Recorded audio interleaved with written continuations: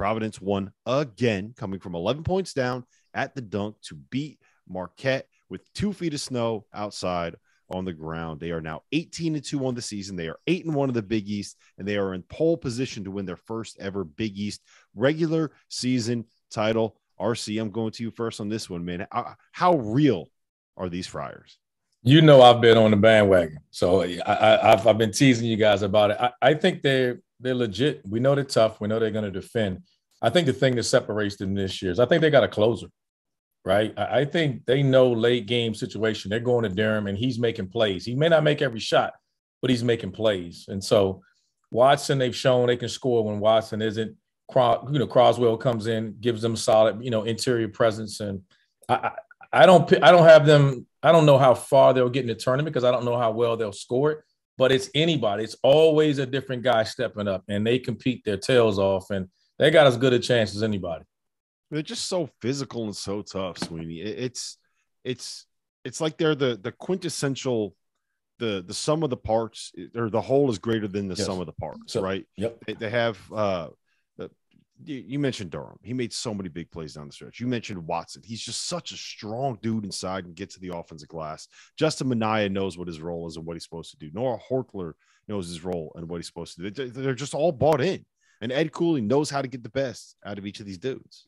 Yeah, I mean, 100%. And I think the two transfer additions, obviously, Durham is earned most of the headlines because of how clutch he's been late in games, because he solidified that ball handler position next to uh, Jared Bynum and next to, um, you know, some of the other guys that play in the backcourt, Alyn Breed. But, you know, I think Justin Minaya is the unsung hero. And again, today he was really good. Mm-hmm. I mean, every, his defense is special. It's one of the things that has defined this team. It's allowed it to make the jump that they've made.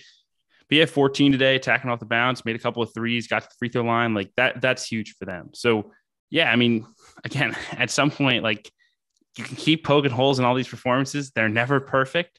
They just keep finding ways to win. And uh, they did again today. They needed a, a roll off the rim from Justin Lewis in the closing seconds that I don't know how that ball didn't drop through the net, but man, I mean, these guys are just locked in one as one. I think they're all all old guys who've experienced in different forms being you know a, a, central piece to a team and now realizing hey how can i be the star in my role to help this team win right? I mean think about durham was you know the, the lead guard at indiana didn't really win. Noah horchler was the best player in north florida didn't really win. Nate watson has been the best player or the second best player at providence. Hasn't won a lot in the last couple of years. Uh, you know, I think Ed, Ed Croswell was the best player at LaSalle. Like this whole roster is former best players who've come together and bought in. And it's a credit to Ed Cooley because there's a lot of teams that are lot, that, that are teams full of former best players who are not bought in and playing together like these Friars are. So it's a fun team to watch right now, man. It really is. Yeah, RC, I, have always thought that winning close games like this is a skill, right? There, there's a certain level of confidence that you have to have and a certain level of ability in in moments down the stretch, in moments of close games, in moments where the pressure is going to be on you, where the fans are getting on you. And it doesn't feel like Providence has a lot of guys that, that came to this program, like Sweeney said, that were quote unquote winners before they got there. So how does how does that work? You've coached before, you've coached at this level. How do you, it's how do you get those guys to let's let's be honest. It's preparation, right? I mean, mm-hmm. you go over and over time again. Those guys get comfortable in it, and you'd be surprised at how many people don't do it. Like like today, everybody watched the Kansas City game, right? So they're home, but they get to the one yard line, and Mahomes throws a pass in the backfield and, and ends the half. Like you can't just certain people handle it, certain don't. You can go over and over it time again, but collegiately, you got to practice it enough that where these guys are comfortable, you're able to communicate it with them. And then once it happens, they just buy in and they've won enough close games, they've won enough big games you know, if it's if it's today it was Durham, you know, last game it was Bynum with the big three. There's always a guy that's stepping up, and they got Reeves back. You know, AJ had been out, now they got mm-hmm. him back. So you add him to the mix. That's just another guy that they feel comfortable with. And let's be honest, he just got as much experience as anybody else. Okay, so winning close games is about practice. I'm going to text uh, Kyle Shanahan right now have Jimmy G practice more. Okay, there we go. Good We're luck good with to that. go on that one.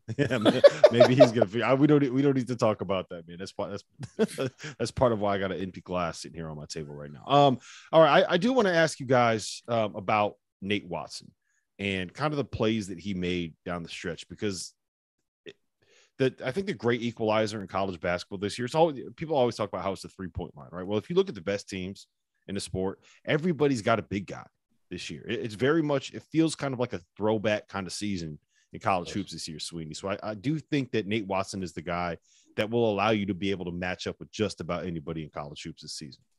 Yeah, I mean, he I've honestly been I think underwhelmed by him statistically this season compared to what he was last season, right? I think you saw him last year as one of the best, you know, offensive weapons down low in college basketball. And, you know, this year at times Croswell has been a little bit better just because of their identity as a team has been so hard nosed and chippy, and Croswell fits that so well. But I think for this Providence team to have the ability to go deep in March, they're going to need guys who can create offense and, uh, you know, be able to throw it to him on the block it is one of Providence, if not Providence's best chance of creating offense, right? And and Durham's been great, and he's you know always in the lane and gets fouled and, and does all these things that they need to win, but they need that post scorer who can give them opportunities to you know stay in games, especially against teams that really guard you like Marquette does. And you know Watson was huge in this game. He, he hit some some clutch shots. He was you know active around the rim, and and I think his you know, steadily improved the other parts of his game too. You know, rebounding defensively. That was a real liability for him early in his career.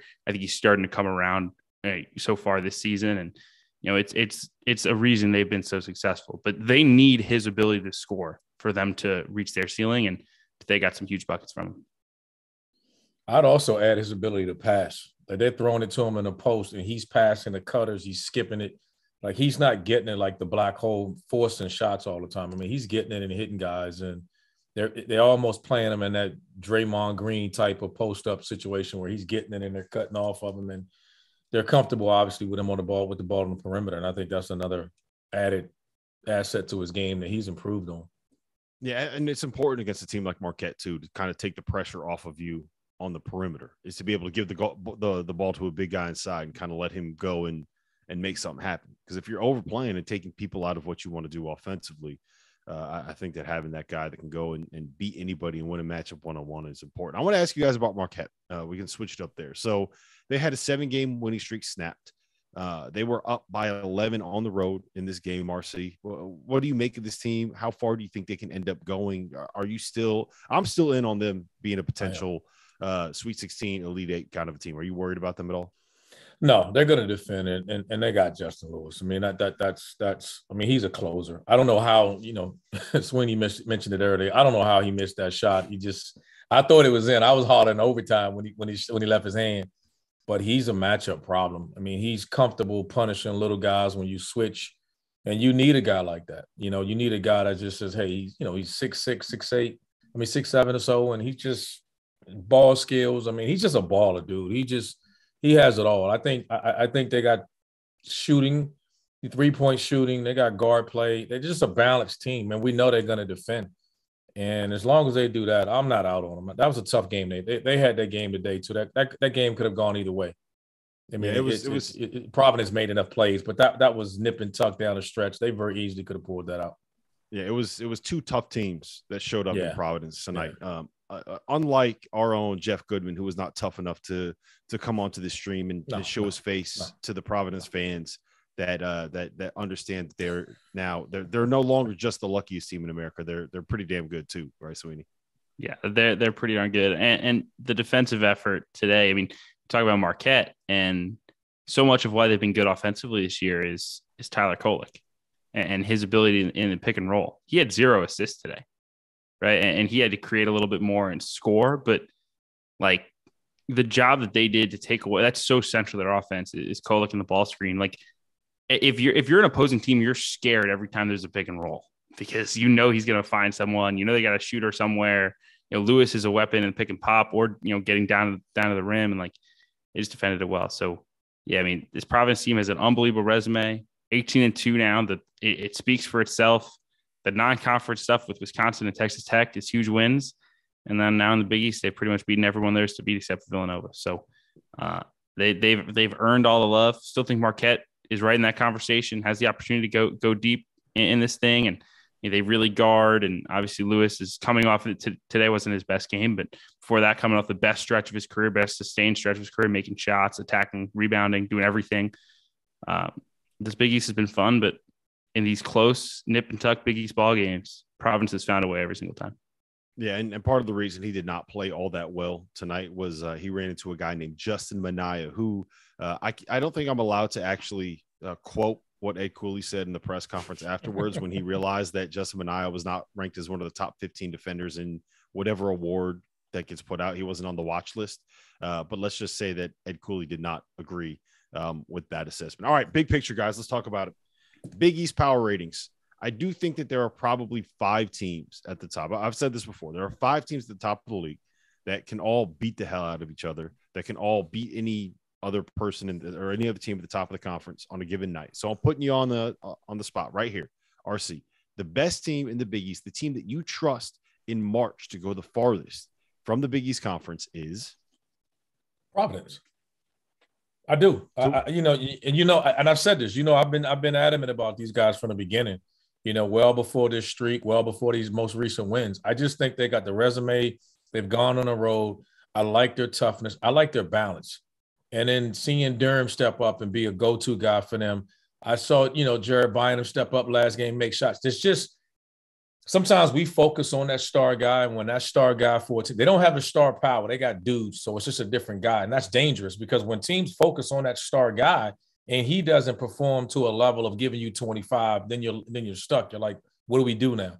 They don't have that guy. Watson may not score, they still win. Durham doesn't play well, they still win. Bynum turns it over, they still win. They're just find ways to win no matter what. And, and I don't know if we can say that about any other team in, in the league. They they they win ugly, but they find ways to win, and they're not relying on one guy to say, "Hey, this guy has to do anything other than show up, play hard, defend." And I don't know if we can say that about anybody else in the Big East. Sweeney, I'm sticking with Villanova. Uh, I've stuck with them after the two straight 20 point losses in December. Uh, stuck with them after the Marquette home loss. I, I still got to stick with them as the team that has the best chance to win in March. Is still the most complete team, right? I mean, look, they have their limitations when they don't make shots, right? Every team does, but it's particularly magnified with Villanova when they do not make threes. Their offense does not look very good. Their defense is good, but you know, is it good enough to win them games against elite teams? It's not. Um, you know, but that, at the same time, they've all the experience you could ever ask for. They've got big time shooters. Brandon Slater's a, a monster defensively and guard multiple positions. I, I still think, and, and, they've got Jay Wright on the sidelines. That does matter. Um, I think to me, if you're looking for a team in this league that has the best chance to go to a Final Four, it's Villanova Wildcats. My only concern with both of those is I don't know if there's a pro on either of those two rosters. I don't know. I don't. Where, where's the NBA guy? Where's the guy where you look at it and you say, I think that they can completely change a game? Um, which is why I think I would probably go with Marquette, as weird as that sounds. I think that they are uh, the most um, matchup independent team in the conference, whereas they can kind of play against anybody. They have the size and length and athleticism to take you out of what you want to do. Uh, I think that Justin Lewis is a game changer. I think that Daryl Morsell is a guy that can initiate offense. I think that Tyler Kolek is a guy that can initiate offense. And they do all of that with all of these versatile, switchable wings. And they got Kur Kuath at the rim blocking everything. So um, I, I think that it's it makes them very difficult to play against. They've really bought into Shaka Smart's identity, and I, I think they're going to be a really tough out in the NCAA tournament. I, I really do. You know, they, it gives me uh, pretty strong VCU vibes from uh, back in his Havoc days when he was uh, when he was coaching down in Richmond. But uh, listen, we got to head to our first commercial here. Uh, coming up next, we're gonna have to dive headfirst all the way into the game that Kevin Sweeney was at today as Jaden Ivey hit a game winner to beat Ohio State.